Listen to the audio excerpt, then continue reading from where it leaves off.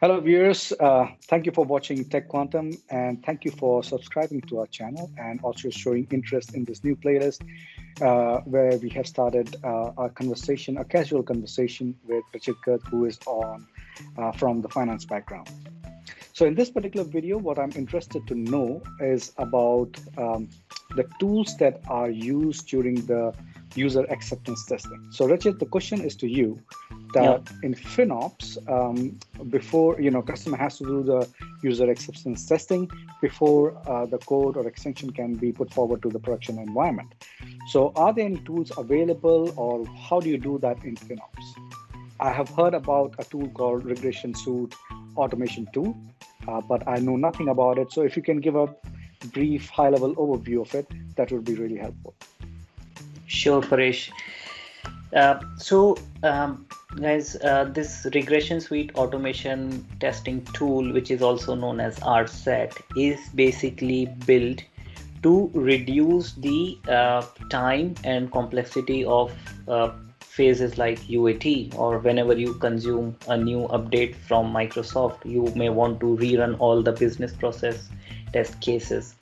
And this tool RSAT uh, is uh, driven or powered by three major uh, components, right? So uh, one is the task recorder, and if you remember, Paresh, I touched base on this task recorder tool in one of the FinOps uh, overview video- videos, yeah. and the the ability of this tool is that end users can record the business process step by step and save it, right?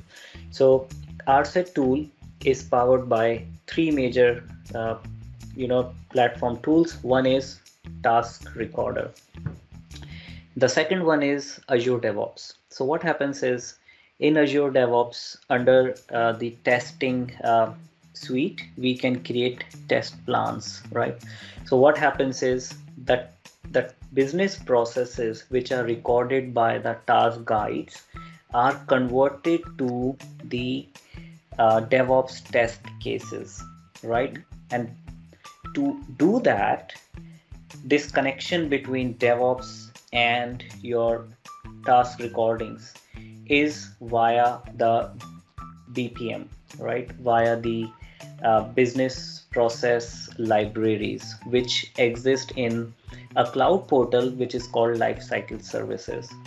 So the three major uh, components of uh, which, um, which, you know, which drive this whole RSAT tool are task recorder, um, business process libraries, BPMs, which are under your LCS, and the DevOps test suite. So, if I have to summarize in a nutshell how it works is uh, you need to uh, ensure that your business process libraries are configured in your finance and operation environment. They are available under system parameters. So once your uh, LCS is configured, that means your finance and operation uh, instance can talk to your BPM.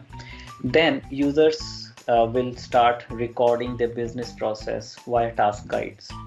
Once the task guide records a business process, that recording can be uploaded to the business process uh, libraries in LCS. Once these recordings are uploaded to LCS, from there you can synchronize it with DevOps what happens when the business process modeler synchronizes it to DevOps is it creates work items in your DevOps, work items of type test case, test work items. Once this synchronization is done, now you can log into DevOps test suite and add those test work items to your test suite, right? Now this is whole building that uh, uh, you know readiness for RSAT tool this we haven't touched RSAT yet, but what we have done is we have given that foundation for RSAT to run. So we need these three things to be uh, there. Now, now how does RSAT comes into picture? So RSAT needs to be installed on a computer, right?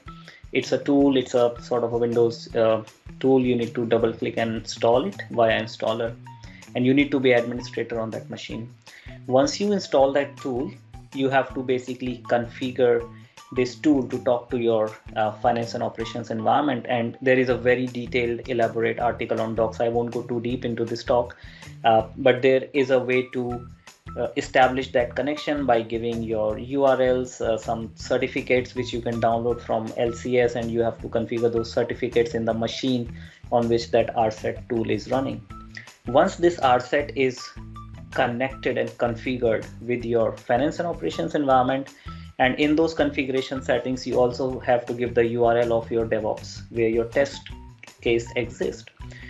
So you install RSAT, you configure it, and then you download those test cases from um, the DevOps. And then what you have to do is you have to generate a parameter file, which basically is an Excel file where all your recordings. So when you record a business process, you are entering values in the system. All those values are uh, captured in the task recording and they are shown in the Excel parameter file.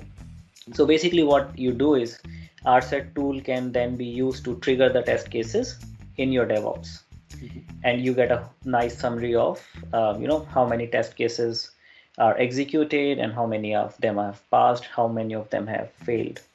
Mm-hmm. Now, what happens is uh, the the art here is how you define your test cases, how you record them, and how you store them in your DevOps test suite. But once this whole foundation is set up, uh, it works nicely. Uh, there may be a few scenarios where you find some issues setting it up, setting the execution file. Uh, but uh, once you start playing with this tool, uh, you spend some time with it, you get used to it, and you understand how it works. There are possibilities to change the test cases also. So you don't have to record one big process having 50 steps in it try to break your you know big business processes into small steps and have those recordings work independently and then you can reference and chain those test cases and how that helps is for example you have a procure to pay process. You can have one test case which is just to create a purchase order. Second test case just to confirm a purchase order. Third test case just to receive the purchase order.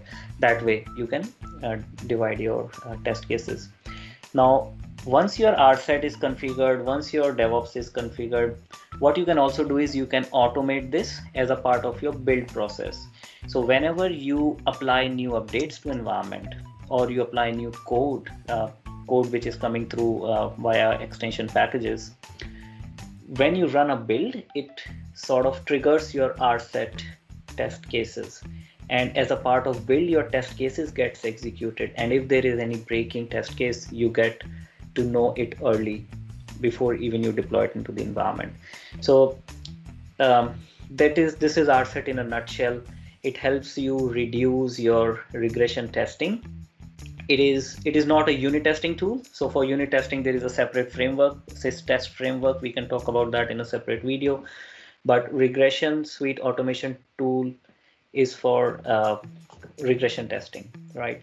And it reduces your time. It takes initially it may require some you know uh, some investment from time perspective but once that uh, baseline is set you can actually leverage your end users to record tasks you know test cases for you and you can you know they, you can then reuse it so that's RSAT in a nutshell paresh yeah yeah um rachit what i think is that yeah that that was a good high level overview but in upcoming videos if you can uh, give a short demonstration as well. That would be really good to see RSAT uh, in one go.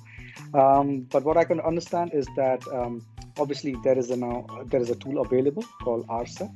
Uh, where you can really minimize your testing efforts down the line. Initially, obviously, there will be some configurations required, but it works along with your DevOps. Uh, and when you create a build, those set of tests that you define run automatically for you. Um, and does that mean that if any test fails, uh, the build also fails? Is that also the case, uh, Rachit? Right. So you can configure your build pipeline to behave in a certain way. So if you if you want to you know break the build if the RSAT has failed, uh, you can define that in the uh, DevOps build pipeline. Okay. So that's that's very good to know that you can actually use um, the whole DevOps suite as well along with it. which yeah. gives um, a, a, very holistic picture where you can create your work items, create your bugs, and also send to your functional or uh, admin people based on the, the errors that come up. So yeah. uh, that was a good overview, Rachit, and I think our users also got a good idea. We will certainly uh, try to explain this more in uh, some video down the line. We'll plan that out. Yeah. And for you viewers, uh, keep watching and stay tuned and subscribe to the channel. Bye. Bye, viewers. Thank you.